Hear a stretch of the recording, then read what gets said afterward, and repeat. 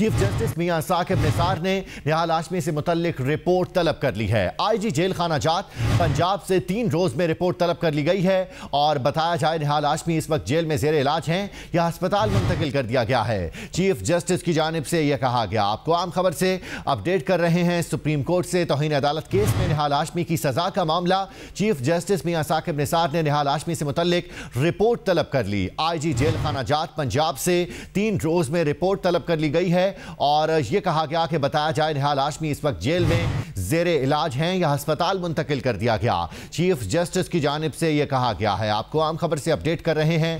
Supreme court میں توہین عدالت کیس میں نحال ہاشمی کی سزا کا معاملہ چیف جسٹس میاں ثاقب نثار نے نہال ہاشمی سے متعلق رپورٹ طلب کر لی۔ آئی جی جیل خانہ جات پنجاب سے تین روز میں رپورٹ طلب کر لی گئی ہے اور یہ کہا گیا ہے کہ بتایا جائے نہال ہاشمی اس وقت جیل میں زیر علاج ہیں یا ہسپتال منتقل کر دیا گیا ہے۔ چیف جسٹس کی جانب سے یہ کہا گیا۔ آپ کو عام خبر سے اپڈیٹ کر رہے ہیں۔ سپریم کورٹ سے توہین عدالت کیس میں نہال ہاشمی کی سزا کے معاملے کے حوالے سے چیف جسٹس میاں ثاقب نثار نے تین روز میں رپورٹ طلب کر لی ہے۔